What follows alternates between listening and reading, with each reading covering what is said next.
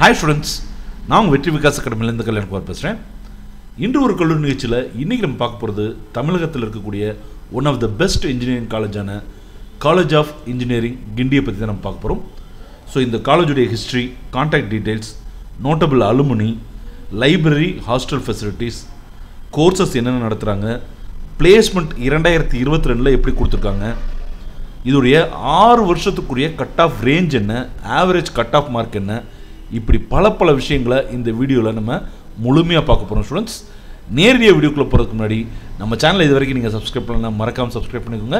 இந்த வீடியோ உங்களுக்கு யூஸ்ஃபுல்லாக இருந்துச்சுன்னா லைக் பண்ண கிளிக் பண்ணுங்கள் உங்கள் ஃப்ரெண்ட்ஸ்க்கும் ஷேர் பண்ணுங்கள் வணக்கம் சார் வணக்கம் மேடம் மற்றும் மாணவர்கள் அனைவருக்கும் வணக்கம். ஓகே சார் சார் இந்த காலேஜ் வந்து எந்த வருஷம் வந்து ஸ்டார்ட் பண்ணிருக்காங்க சார் இந்த இன்ஸ்டிடியூஷன் வந்து எந்த டைப்க்கு கீழே வரும் சார் ஆக்சுவலாக சிஇஜி என அழைக்கப்படக்கூடிய காலேஜ் ஆஃப் இன்ஜினியரிங் கிண்டியை பொறுத்த வரைக்கும் இதோடைய ஹிஸ்ட்ரி வந்து ஒரு மிகப்பெரிய ஹிஸ்ட்ரி சரிங்களா? ஒரே வாரத்தில் இந்த வருஷம் தான் தொடங்கினாங்க அப்படின்னு சொல்லிட முடியாது.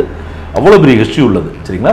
கரெக்டாக சொல்லணும்னா ஆயிரத்தி எழுநூற்றி தொண்ணூற்றி நாலாம் ஆண்டு ஸ்கூல் ஆஃப் சர்வே அப்படின்ற பேரில் ஒரே ஒரு ஸ்டூடெண்ட்டோட தான் ஆரம்பித்தாங்க இது ஆரம்பித்து வைத்த ஒரு பேர் வந்து பார்த்தீங்கன்னா மைக்கேல் டோப்பிங் ஒரு ஆங்கிலேயராக இருந்தால் கூட நம்ம இந்த இடத்துல மிகப்பெரிய நன்றி சொல்லிக்கணும் சரிங்களா?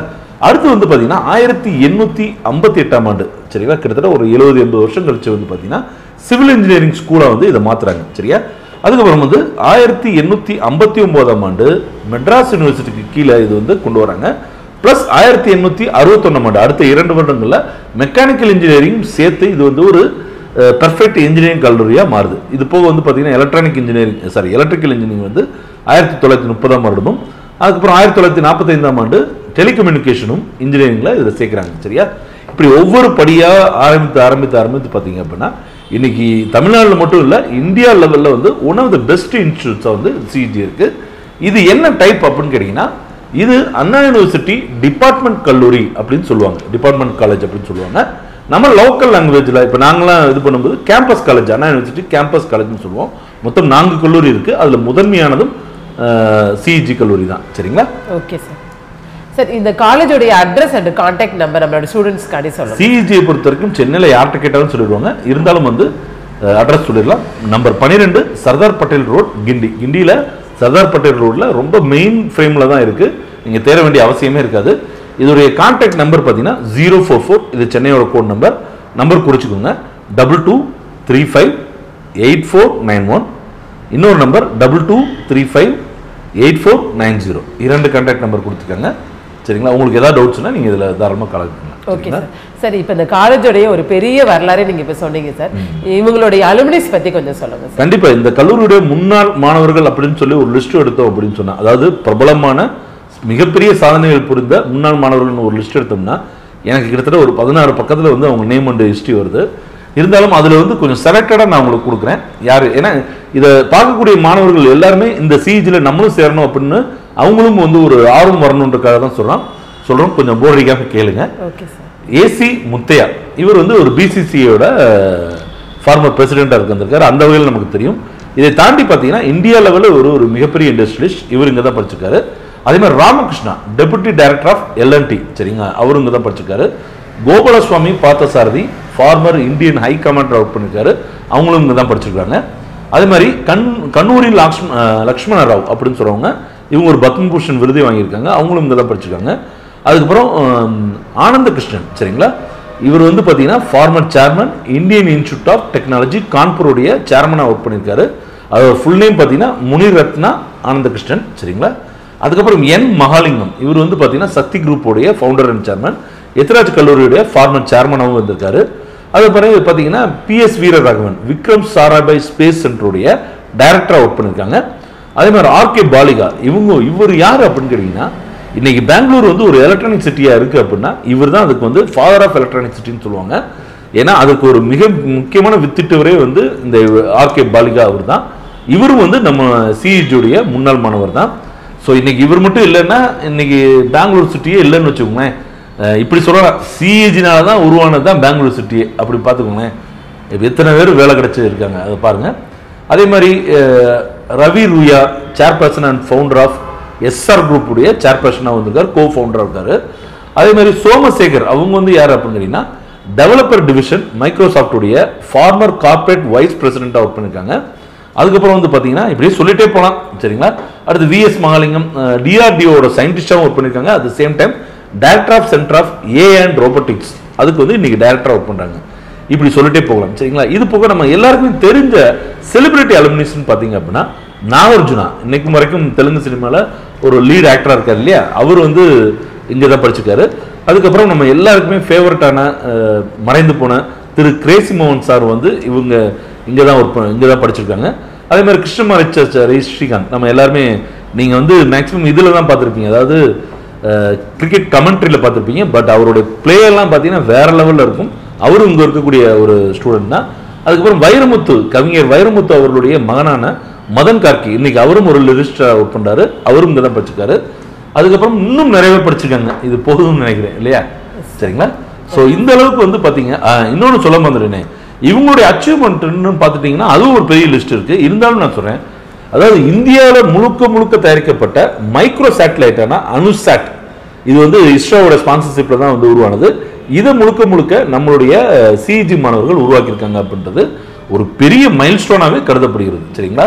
ஓகே சார் சார் இந்த காலேஜில் இருக்கக்கூடிய ஃபெசிலிட்டிஸ் அவைலபிள் பற்றி சொல்லுங்க சார் அதாவது சிஇஜி கேம்பஸை பொறுத்த வரைக்கும் இது ஒரு அரசு சார்ந்த நிறுவனம் தான் சரிங்களா? இருந்தாலும் கூட இந்த படிக்கக்கூடிய மாணவர்களுக்கு அவ்வளோ ஃபெசிலிட்டிஸ் கொடுக்குறாங்க. அதில் ஹைலைட்டடாக இருக்கிறது வந்து என்னன்னு கேட்டீங்கன்னா சிஏஆர் என அழைக்கப்படக்கூடிய சென்டர் ஆஃப் இன்டர்நேஷனல் ரிலேஷன்ஸ் அதுக்கப்புறம் ரொம்ப பெஸ்ட் லைப்ரரி கொடுத்துருக்காங்க. அதுக்கப்புறம் சிபிடிஇ என அழைக்கப்படக்கூடிய centre of professional department education அதுக்கப்புறம் ரொம்ப பர்ஃபெக்டான ஹாஸ்டல் அண்ட் ஸ்காலர்ஷிப் கொடுக்குறாங்க. சரியா? ஓகே சார் சார் நீங்கள் இப்போ வந்து சிஐஆர்னு சொல்லி சொன்னீங்களா சார் அதை பற்றி கொஞ்சம் டீட்டெயிலாக சொல்லுங்க சார் அதாவது சிஏஆர் அப்படின்றது எப்படின்னா நான் ஆல்ரெடி சொன்ன மாதிரி சென்டர் ஆஃப் இன்டர்நேஷனல் ரிலேஷன் இவங்க என்ன பண்றாங்கன்னா உலகத்தில் இருக்கக்கூடிய தலை சிறந்த யூனிவர்சிட்டிஸில் இருக்கக்கூடிய ப்ரொஃபசர்ஸ் அந்த யூனிவர்சிட்டிஸோட எம்ஓயு சைன் பண்றாங்க. அங்க இருக்கக்கூடிய யூனிவர்சிட்டிஸ் நம்ம சிஇஜியில் படிக்கக்கூடிய மாணவர்களுக்கு சில கிளாஸஸ் எடுத்துகிட்டு போகிறாங்க அதாவது விசிட்டிங் ப்ரொஃபஸர்னு சொல்லுவாங்க. சரிங்களா? அந்த மாதிரி எடுத்துகிட்டு போகிற விஷயத்த ஒரு ஆர்கனைஸ் பண்ணுறது தான் சிஆரோட மிக முக்கியமான வேலை. இதனால் என்ன நடக்கும் அப்படின்னு பார்த்தீங்க அப்படின்னா இப்போ ஃபார் எக்ஸாம்பிள் ஒரு ஃபாரின் யூனிவர்சிட்டி இருக்குது வேர்ல்டு லெவலில் ஒரு பெரிய யூனிவர்சிட்டி இருக்குது அங்கே ப்ரொஃபசர்ஸ் வந்து ஒரு அப்டேட்டட் லெவலில் இருப்பாங்க. சரியா? அவங்க வந்து நம்ம மாணவர்களுக்கு நடத்தும் போது இருக்கக்கூடிய டெக்னாலஜி அட்வான்ஸ்மெண்ட்டை இவங்க தெரிஞ்சுக்கலாம். சரிங்களா? இது கிட்டத்தட்ட வந்து முப்பது ப்ரொஃபசர்ஸ் வந்து இந்த ஸ்கீம்லேருந்து வராங்க.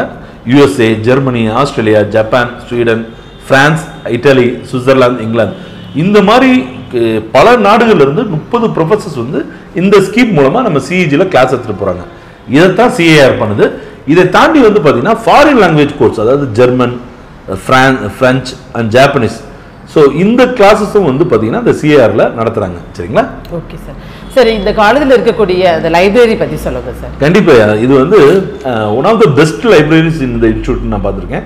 ஏன்னா நான் பல மெடிக்கல் காலேஜஸ் போயிருக்கேன் நிறைய இன்ஜினியரிங் காலேஜஸ் போயிருக்கேன் ஆர்ட்ஸ் அண்ட் சயின்ஸ் காலேஜ் போயிருக்கேன். அதில் சிஇஜி பொறுத்த வரைக்கும் ஒரு மிகப்பெரிய லைப்ரரி இருக்குது கிட்டத்தட்ட வந்து நாலாயிரத்தி இருபத்தஞ்சு ஸ்கொயர் மீட்டர்ஸில் இந்த லைப்ரரி அமைஞ்சிருக்கு சரிங்களா? கிட்டத்தட்ட வந்து பத்தாயிரத்தி நூற்றி ஐம்பத்தி ஏழு ரிஜிஸ்டர்டு யூசர்ஸ் வந்து அக்சஸ் பண்ணிட்டு இருக்காங்க. கம்ப்ளீட்டாக சிசிடிவி இருக்குது டிஜிட்டல் நாலேஜ் சென்டர் அப்படின்னு சொல்லக்கூடிய டிகேசி இது வந்து இங்கே லைப்ரரியில் ஃபங்க்ஷன் ஆகிட்டு இருக்கு. இதை பற்றி நம்ம இன்னொரு வீடியோவில் கூட பேசலாம். இது போக ஒரு லட்சத்தி ஐம்பத்தாறாயிரத்தி எழுநூத்தி நாற்பத்தி நாலு வால்யூம்ஸ் ஆஃப் ரீடிங் மெட்டீரியல் வந்து பல்வேறு விதமான சயின்ஸ் இன்ஜினியரிங் டெக்னாலஜியை பொறுத்து அந்த புத்தகங்கள் இருக்குது சரிங்களா? அதுக்கப்புறம் வந்து நிறைய ஃபாரின் அண்ட் இந்தியன் ஜேர்னல்ஸும் வாங்குறாங்க. அதுக்கப்புறம் இ ரிசோர்ஸஸ் வந்து இங்கே நிறையவே அவைலபிளாக இருக்குது ஸோ நீங்கள் அப்டேட்டடான விஷயங்களை வந்து இ ரிசோர்ஸில் நீங்கள் அக்சஸ் பண்ணிக்கலாம் சரிங்களா? So one of the best library அப்படின்னு நான் சொல்லுவேன் சரிங்களா? ஓகே சார் சார் சிபிடின்னு சொல்லி சொன்னீங்கல்ல சார். அப்படின்னா என்ன sir centre of professional department education இது வந்து சிபிடின்னு சொல்லுவாங்க. ஸோ இது வந்து Anna university C Anna university campus காலேஜான சிஇஜியில் ரொம்ப பிரமாதமாக இயங்கிட்டு இருக்கு. இதோட வேலை என்ன அப்படின்னா ஒரு மாணவர் வந்து ஹையர் எஜுகேஷனில் அவேர்னஸ் கொண்டு வர்றது. ப்ளஸ் அவர் வந்து அப்படியே நிறைய நேராக வந்து இண்டஸ்ட்ரிக்கு போறாரு அப்படின்னா அதற்குரிய ஸ்கில்ஸை டெவலப் பண்ணுறது அப்படின்றது தான் இதோடைய மிக முக்கியமான வேலை. இது இரண்டாயிரம் ஆண்டுல இருந்து தொடங்கப்பட்டு இப்போ வரைக்கும் ஒரு இருபத்தி ரெண்டு வருஷத்துக்கு மேலே சிறப்பாக இயங்கிக் கொண்டிருக்கு. சரிங்களா? ஓகே சார் சரி இந்த காலேஜில் இருக்கக்கூடிய ஹாஸ்டல் ஃபெசிலிட்டிஸ் பற்றி சொல்லுங்க சார் ஸோ இங்க ஹாஸ்டல்ஸை பொறுத்த வரைக்கும் மூவாயிரத்தி ஐநூறு மாணவர்களுக்கும் மேற்பட்ட மாணவர்கள் ஒரே நேரத்தில் தங்குற அளவுக்கு வந்து பெரிய ஹாஸ்டல் இருக்கு. மொத்தம் இருபத்தி ரெண்டு பிளாக்ஸாக பிரிச்சிருக்காங்க. எல்லாமே வந்து தமிழ் ஃப்ளவர் நேம்ல இருக்கும் சரிங்களா? இதில் பதினாலு பிளாக்ஸ் வந்து பார்த்தீங்க அப்படின்னா பாய்ஸ்காவும் எட்டு பிளாக்ஸ் வந்து கேர்ள்ஸ்காவும் இருக்காங்க. இதில் இன்னொன்று என்ன கேட்டிங்கன்னா மெஸ் செக்ரட்டரியும் மெஸ் ப்ரொவிஷன் இன்சார்ஜையும் இந்த இரண்டு பதவிகளுக்கு உண்டான நபர்களையும் வந்து அந்தந்த மாணவர்களே தேர்ந்தெடுக்கக்கூடிய அதிகாரம் கொடுத்துருக்காங்க. ஒரு சின்ன எலெக்ஷன் மாதிரி கண்டக்ட் பண்ணி அந்த அந்த பொசிஷன் வந்து கொடுப்பாங்க. இது எதற்காக அப்படிங்கிறீங்கன்னா ஆஸ்திரேலியா இன்னுமே தரமாக மெயின்டைன் பண்ணுறதுக்காக தான் கொடுத்துருக்காங்க சரியா? ஓகே சார் சார் இந்த காலேஜில் இருக்கக்கூடிய ஸ்காலர்ஷிப் பற்றி கொஞ்சம் சொல்லுங்கள் சார் கண்டிப்பாக அதாவது இங்கே வந்து அதர் தேன் கவர்மெண்ட் ஸ்காலர்ஷிப்ஸ் தவிர பிரைவேட் ஸ்காலர்ஷிப்ஸ் வந்து அவைலபிளாக இருக்குது பேங்க் ஆஃப் டோக்கியோ ஜப்பானை சேர்ந்த பேங்க் ஆஃப் டோக்கியோ வந்து ஸ்காலர்ஷிப் கொடுக்குறாங்க. இவங்க வந்து ஒரு மாணவருக்கு இருபத்தி மூணாயிரத்தி நூறுரூவா வரைக்கும் வந்து வருஷத்துக்கு கொடுக்குறாங்க. அதே மாதிரி காக்னிசென்ட் நமக்கு தெரியும் இல்லையா? ஒரு சாஃப்ட்வேரில் ஒரு மிகப்பெரிய கம்பெனி அவங்க வந்து நாற்பத்தாயிரம் வரைக்கும் ஸ்டூடெண்ட்ஸ்க்கு கொடுக்குறாங்க. அந்த அளவுக்கு வந்து ஒரு இது இருக்குது அதே மாதிரி சிக்ஷானா ஃபவுண்டேஷன் வந்து டியூஷன் ஃபீ ஃபுல்லாகவே வந்து வேவர் பண்ணுறாங்க அந்த மாதிரி ஸ்காலர்ஷிப் இருக்கு. அதே மாதிரி முகவரி ஃபவுண்டேஷன் வந்து ஃபுல் ஃபீயை வந்து பே பண்ணுறாங்க இந்த ஸ்காலர்ஷிப் இருக்கு. சரிங்களா?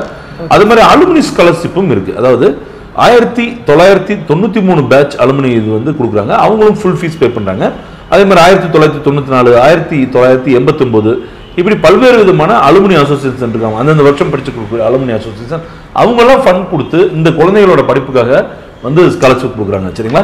இதற்கு மேற்பட்ட ஸ்காலர்ஷிப்ஸ் இருக்கு பட் வந்து உங்களுக்கு ஓரளவுக்கு தெரிய தெரிய வேண்டிய ஸ்காலர்ஷிப் நம்ம சொல்லிட்டோம் சரிங்களா? ஓகே சார் சரி இந்த காலேஜில் இருக்கக்கூடிய கோர்சஸ் பத்தி சொல்லுங்க சார் கோர்சஸ் பத்தி கேட்க வேணாம். ஏன்னா ஆயிரத்தி எழுநூத்தி தொண்ணூத்தி நாலுல இருந்து கோர்சஸ் ஆட் பண்ணிட்டே இருக்காங்க.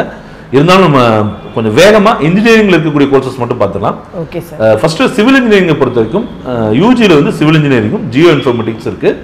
பிஜியில் structural engineering construction engineering and management irrigation water management hydrology and water resources engineering environmental engineering transportation engineering soil mechanics and foundation engineering environmental management remote sensing and geometrics இது இருக்கு. சரிங்களா? மெக்கானிக்கலை பொறுத்த வரைக்கும் யூஜியில் mechanical engineering material science engineering இருக்கு. MEM டெக்கை பொறுத்த வரைக்கும் internal combustion engineering energy engineering thermal engineering engineering design manufacturing system and management product design and development solar energy இது எல்லாமே இருக்கு. அதுக்கப்புறம் வந்து இண்டஸ்ட்ரியல் இன்ஜினியரிங்கை பொறுத்த வரைக்கும் பிஇல இண்டஸ்ட்ரியல் இன்ஜினியரிங் இருக்கு எம்இலையும் வந்து பார்த்தீங்கன்னா industrial engineering quality engineering and மேனேஜ்மெண்ட்டும் இருக்கு சரிங்களா? அதுக்கப்புறம் மேனுஃபேக்சரிங் இன்ஜினியர் பொறுத்த வரைக்கும் பிஇல மேனுஃபேக்சரிங் இன்ஜினியரும் எம்இஎம் டெக்ல கம்ப்யூட்டர் இன்டகிரேட்டட் மேனுஃபேக்சரிங் இன்ஜினியரிங் இருக்கு சரிங்களா? கேட்கறதுக்கு உங்களுக்கு தலை சுத்துது இல்லையா? அவ்வளவு இது நடத்திட்டு இருக்காங்க.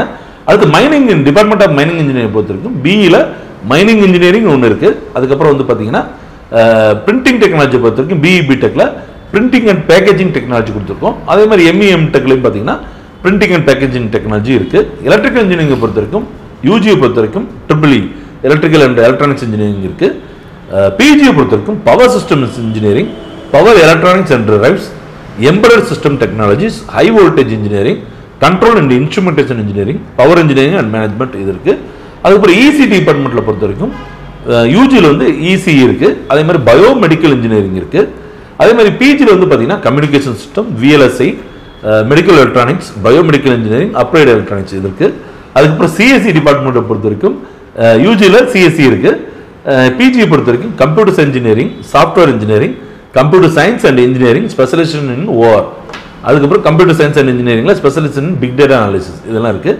அதுக்கப்புறம் இன்ஃபர்மேஷன் சயின்ஸ் டெக்னாலஜியில் வந்து பார்த்தீங்கன்னா நீங்கள் சிரிக்கிறது எனக்கே தெரியுது. ஸோ யூஜியை பொறுத்த வரைக்கும் இன்ஃபர்மேஷன் டெக்னாலஜி இருக்குது பிஜியை பொறுத்த வரைக்கும் information technology information technology specialised in multimedia அதுக்கப்புறம் master of computer computer application MCA இவ்வளோ கோர்சஸ் வந்து நான் சொன்னது வெறும் இன்ஜினியரிங் அண்ட் டெக்னாலஜி பற்றி தாங்க. இது போக வந்து பார்த்தீங்கன்னா எக்கச்சக்கமான விஷயங்கள் கோர்சஸ் இருக்கு. சரியா?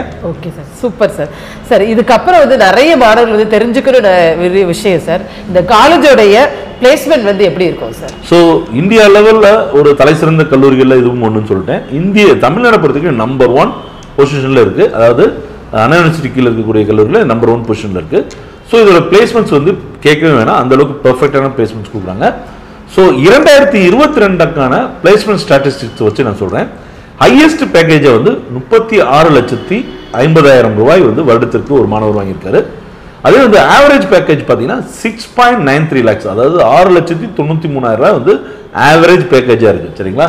பல கல்லூரிகளில் எடுத்துட்டீங்கன்னா நீங்கள் லட்ச லட்சமாக கம் காசு கொடுத்தா கூட அங்கெல்லாம் ஆவரேஜுக்கு ஆவரேஜ் எவ்வளோ இருக்கும் அப்படின்னா டூ பாயிண்ட் ஃபைவ் லேக்ஸ் தான் அதிகமாகவே இருக்கும். பட் இங்கே வந்து பார்த்தீங்கன்னா ஃபீஸ் ரொம்ப ரொம்ப குறையுது ஆனாலும் கூட ஆவரேஜ் பேக்கேஜ் வந்து six point nine three lakhs இருக்குது சரிங்களா? கிட்டத்தட்ட இரண்டாயிரம் மாணவர்கள் வந்து இந்த பிளேஸ்மெண்ட்டில் uh, கலந்துக்கிட்டு வேலை கிடைச்சிருக்காங்க. இது போக வந்து பார்த்தீங்கன்னா இன்டர்ன்ஷிப் அப்போவே பார்த்தீங்கன்னா ஐம்பதாயிரம்லேருந்து ஒரு லட்ச ரூபா வரைக்கும் வாங்கக்கூடிய மாணவர்கள் இருக்காங்க.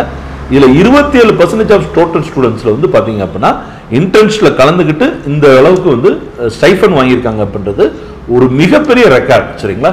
ஸோ இது வந்து சிஇஜி வந்து சூப்பராக கிரியேட் பண்ணியிருக்காங்க இந்த ரெக்கார்டை இதே மாதிரி மற்ற கல்லூரி மாணவர்கள் கல்லூரியும் செய்யணும் அப்படின்றது தான் என்னோட ஆசை சரியா? சார் இந்த காலேஜோடைய counselling code and cut off mark பத்தி சொல்லுங்க சார் கண்டிப்பா கண்டிப்பா. இந்த கல்லூரியோட கவுன்சிலிங் கோடுன்றது நம்பர் ஒன் அதுதான் வந்து இதோட கவுன்சிலிங் கோடை மறக்கவே மறக்காது இல்லையா? கட் ஆஃப் மதிப்பெண்களை சொல்றதுக்கு முன்னாடி ஒரு சின்ன விஷயம் சொல்லிக்கிறேன். இப்போ நம்ம கொண்டு சொல்லக்கூடிய கட் ஆஃப் ரேஞ்சாக இருக்கட்டும் இல்லை ஆவரேஜ் கட் ஆஃபாக இருக்கட்டும் இது எதை அடிப்படையாக கொண்டு நம்ம சொல்றோம் அப்படின்னா கடந்த ஆறு வருடங்களாக சிஇஜியில் சேர்ந்திருக்கக்கூடிய அதாவது சிஇஜியில் சிஎஸ்சி டிபார்ட்மெண்ட்டில் சேர்ந்திருக்கக்கூடிய ஓப்பன் கேட்டகரியில் வரக்கூடிய மாணவர்களுடைய கட் ஆஃப் வச்சு தான் நம்ம சொல்கிறோம் சரியா? அப்படி பார்க்கும்போது இதோட கட் ஆஃப் ரேஞ்ச் வந்து பார்த்தீங்கன்னா குறைந்தபட்சம் நூற்றி தொண்ணூத்தெட்டு புள்ளி ரெண்டு அஞ்சுலேருந்து ஆரம்பித்து நூற்றி தொண்ணூத்தொம்பது புள்ளி ஏழு அஞ்சு வரைக்கும் போகுது. சரியா?